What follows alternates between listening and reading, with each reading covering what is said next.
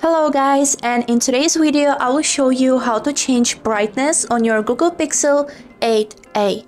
Let's get started but firstly don't forget to follow to see more useful content. So basically on all Android phones when you open the control panel you should be able to change the brightness here but not on this one. So let me show you how. Firstly open settings, they look like this and find tab named display. Here it is. Click on it and right here you'd be able to see this brightness level. If we click on it, on the top of our screen will appear this level which we can change by moving our finger to the left or to the right. And that's it.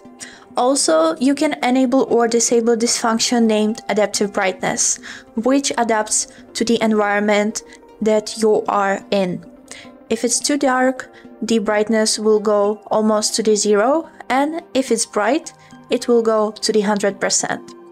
And that's all. I hope this video was helpful for you and thank you so much for watching.